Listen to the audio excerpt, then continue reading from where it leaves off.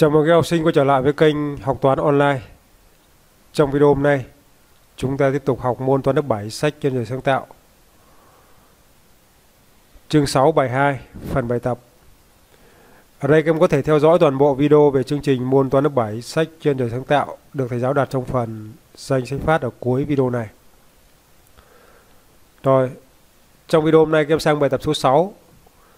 Hai chiếc nhẫn bằng kim loại đồng chất có thể tích là 3 cm khối và 2 cm khối. Hỏi mỗi chiếc nặng bao nhiêu gam? Biết rằng hai chiếc nhẫn nặng 96,5 gam.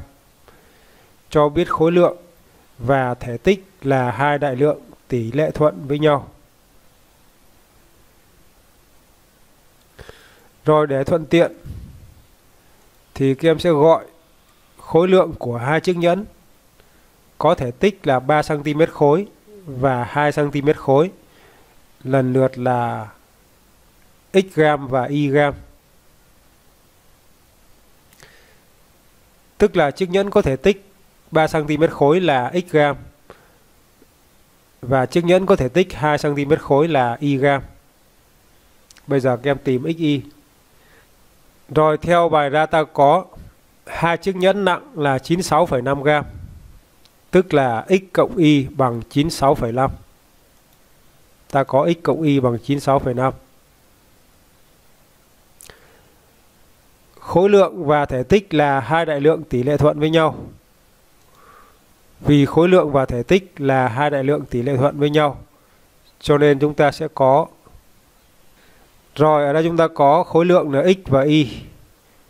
Ứng với khối lượng x là thể tích là 3 cm khối ứng với khối lượng y, thể tích là 2 cm khối. Vì khối lượng và thể tích là hai đại lượng tỷ lệ thuận với nhau. Cho nên ta sẽ có x phần 3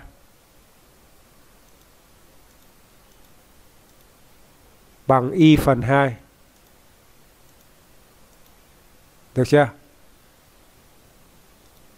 Rồi đến đây thì game sẽ áp dụng tính chất của dãy tỉ số bằng nhau. Từ x phần 3 bằng y phần 2. Chúng ta có x cộng y. Tử cộng tử, mẫu cộng mẫu. Mẫu là 3 cộng 2. Rồi, chúng ta biết x cộng y bằng 96,5 rồi. Các em thay x cộng y bằng 96,5. 3 cộng 2 bằng 5. 96,5 chia 5 bằng 19,3. x phần 3 bằng 19,3.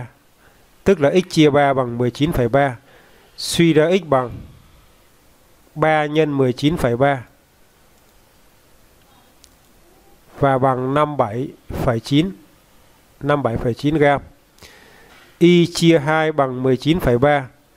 Suy ra y bằng 2 nhân 19,3 2 nhân 19,3 bằng 38,6 gram. Rồi đến đây thì các em kết luận khối lượng của chiếc nhẫn có thể tích 3 cm khối là 57,9 gram. Khối lượng của chiếc nhẫn có thể tích 2 cm khối là 38,6 gram.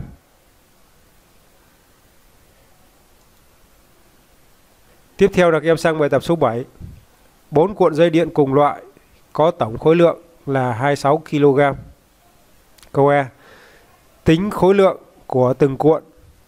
Biết cuộn thứ nhất nặng bằng 1 phần 2 cuộn thứ hai và bằng 1 phần 4 cuộn thứ ba bằng 1 phần 6 cuộn thứ tư. Rồi để thuận tiện thì các em sẽ gọi khối lượng của cuộn dây thứ nhất, thứ hai, thứ ba, thứ tư lần lượt là A, B, C, D kg. Tức là khối lượng của cuộn dây thứ nhất là A kg, cuộn thứ hai là B kg, cuộn thứ ba là C kg và cuộn thứ tư là D kg. Rồi theo bài ra thì ta có khối lượng cuộn thứ nhất tức là A bằng 1 phần 2 cuộn thứ hai tức là bằng 1 phần 2 1 phần 2 B bằng 1 phần tư cuộn thứ ba, tức là bằng 1 phần tư C. Và bằng 1 phần 6 cuộn thứ tư, tức là bằng 1 phần 6 D. Được chưa? Và 4 cuộn dây này có tổng khối lượng là 26 kg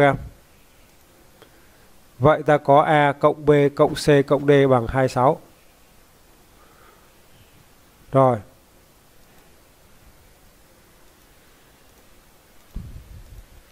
Từ A bằng 1 phần 2B bằng 1 phần 4C bằng 1 phần 6D thì chúng ta có cái gì? À các em viết lại thôi. A chính là A phần 1. Các em viết lại dưới dạng là dãy tỉ số bằng nhau. Sau đó là các em áp dụng tính chất của dãy tỉ số bằng nhau. A bằng A phần 1. 1 phần 2 nhân B bằng B phần 2. Đúng không? 1 nhân B bằng B, B phần 2. 1 phần 4 nhân C bằng C phần 4. 1 phần 6 nhân D bằng D phần 6. Chúng ta có dãy tỉ số bằng nhau. Rồi đến đây các em sẽ áp dụng tính chất của dãy tỉ số bằng nhau. Thì ta có cái gì? Áp dụng tính chất của dãy tỉ số bằng nhau.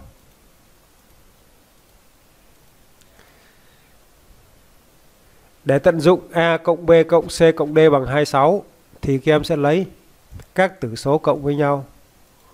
Các tử số cộng với nhau thì các mẫu số cũng phải cộng với nhau.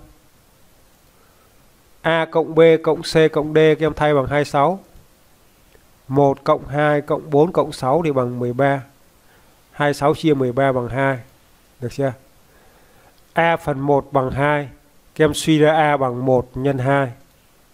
A bằng 1 nhân 2 bằng 2 kg. B phần 2 bằng 2. Suy ra B bằng 2 nhân 2 bằng 4 kg.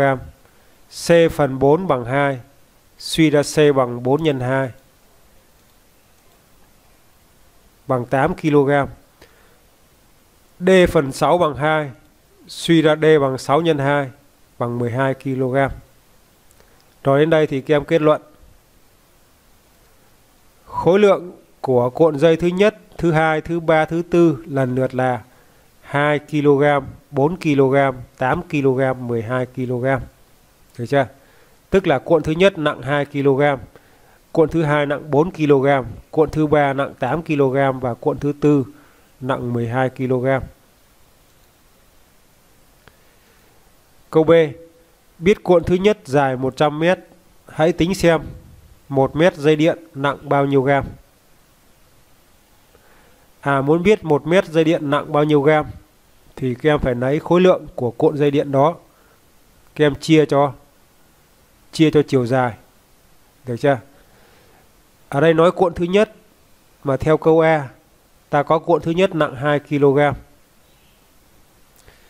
Người ta hỏi nặng bao nhiêu gam? Vậy 2 kg này, các em đổi thành 2.000 gam.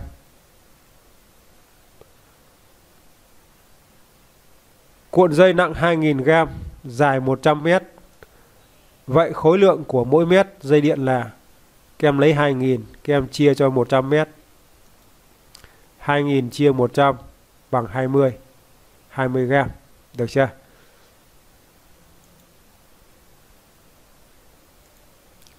Tiếp theo là các em sang bài tập số 8. Một tam giác có độ dài 3 cạnh tỷ lệ với 3, 4, 5 và có chu vi là 60 cm. Tính độ dài các cạnh của tam giác đó. Rồi các em hình dung này. Tam giác có độ dài ba cạnh là ABC. ABC nó tỷ lệ với 3 4 5. Tức là ta có A chia B chia C bằng 3 chia 4 chia 5. Chu vi là 60 cm. Chu vi nó chính là tổng độ dài của ba cạnh này. Ta có A cộng B cộng C bằng 60. Rồi để thuận tiện thì chúng ta sẽ gọi độ dài ba cạnh của tam giác lần lượt là A, B, C, đơn vị là cm. Ta có chu vi của tam giác này là 60 cm, tức là A cộng B cộng C bằng 60. ba cạnh này nó tỷ lệ với 3 4 5. Vì độ dài ba cạnh tỷ lệ với 3 4 5 nên ta có A chia B chia C bằng 3 chia 4 chia 5. Rồi, khi chúng ta có A chia B chia C bằng 3 chia 4 chia 5 thì chúng ta sẽ suy ra dãy tỷ số bằng nhau như sau. Theo thứ tự là A phần 3. A phần 3 bằng B phần 4 và bằng C phần 5 bằng C phần 5. Được chưa? Rồi. Để tận dụng A cộng B cộng C bằng 60, các em áp dụng tính chất của dãy tỷ số bằng nhau. Các em lấy các tử số cộng với nhau, các mẫu số cộng với nhau. Theo tính chất của dãy tỷ số bằng nhau ta có A phần 3 bằng B phần 4 bằng C phần 5 và các em áp dụng tính chất của dãy tỉ số bằng nhau. Các em lấy các tử số cộng với nhau. Các tử số cộng với nhau thì các mẫu số cũng phải cộng với nhau. Được chưa? A cộng B cộng C, các em thay bằng 60 3 cộng 4 cộng 5 bằng 12 60 chia 12 bằng 5 A chia 3 bằng 5 suy ra A bằng 3 nhân 5 các em suy ra A bằng 3 nhân 5 bằng 15 cm. B chia 4 bằng 5, suy ra B bằng 4 nhân 5 bằng 20 cm. Tương tự C bằng 5 nhân 5 bằng 25 cm. Vậy độ dài ba cạnh của tam giác lần lượt là 15 cm, 20 cm, 25 cm.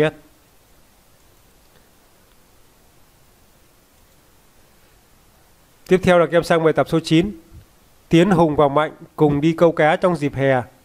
Tiến câu được 12 con, Hùng câu được 8 con và Mạnh câu được 10 con. Số tiền bán cá thu được tổng cộng là 180.000 đồng. Hỏi, nếu đem số tiền trên chia cho các bạn theo tỷ lệ với số cá từng người câu được thì mỗi bạn nhận được bao nhiêu tiền? À để thuận tiện thì chúng ta sẽ gọi số tiền mỗi bạn Tiến Hùng Mạnh nhận được lần lượt là X, Y, Z. Ở đây đơn vị là nghìn đồng nha. 180.000 đồng thì chúng ta lấy đơn vị là nghìn đồng. Rồi, có nghĩa là Tiến nhận được X nghìn đồng, Hùng nhận được Y nghìn đồng và Mạnh nhận được Z nghìn đồng. Được chưa?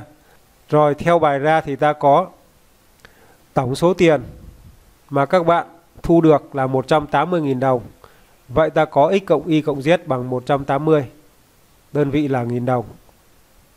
Rồi, vì số tiền được chia tỷ lệ thuận với số cá câu được. À, số tiền được chia tỷ lệ thuận với số cá câu được có nghĩa là bạn nào câu được nhiều cá hơn thì sẽ được chia nhiều tiền hơn. Được chưa? Số tiền được chia tỷ lệ với số cá câu được tức là x, y, z này Dòng trên các em viết là x, y, z. Các em viết nháp cho chúng ta dễ hình dung. x, y, z tỷ lệ với 12 theo thứ tự là 12. Đúng không? 12, 8 và 10. Tiến Hùng Mạnh là x, y, z. Số cá câu được là 12, 8 và 10. x, y, z tỷ lệ với 12, 8 và 10. Cho nên ta có x phần 12 sẽ bằng y phần 8 và bằng z phần 10. Được chưa? Đến đây để tận dụng x cộng y cộng z bằng 180 thì theo tính chất của dãy tỷ số bằng nhau, các em sẽ lấy các tử số cộng với nhau và các mẫu số cộng với nhau. Theo tính chất của dãy tỷ số bằng nhau,